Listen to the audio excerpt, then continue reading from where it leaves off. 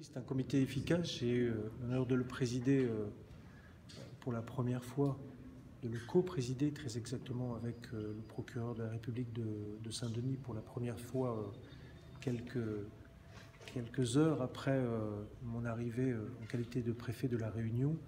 Et je puis vous affirmer que l'engagement des services de tous les services au sein de ce comité départemental euh, antifraude est, total et les, résultats, je dirais, de cet engagement euh, qui m'ont été présentés, de cet engagement en 2018 qui m'ont été présentés au cours du comité départemental sont là euh, pour le prouver. Qui, il, y a, trois, trois axes hein, je dirais, de, de, contrôle qui sont opérés je dirais, par les services en matière de lutte contre la fraude, c'est la lutte contre le travail illégal, la lutte contre la fraude fiscale et la lutte contre la fraude aux prestations sociales. En ce qui concerne euh, la lutte contre le travail illégal, ce sont 300 euh, euh, entreprises qui ont été contrôlées par les services de l'inspection du, travail. Ça correspond à près de 800 salariés et ça a fait l'objet de l'établissement par les services de la direction du travail établissement de 38 procès-verbaux qui ont été transmis à l'autorité judiciaire.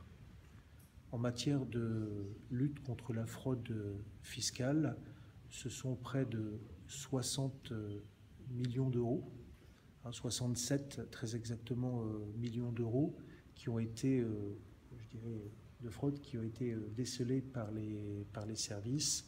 C'est plus que ce qu'on avait décelé l'an dernier puisque le montant était, euh, avait été évalué à près de 54 millions d'euros. Donc 67 millions d'euros de fraude détectée en 2018 contre 54 en 2017.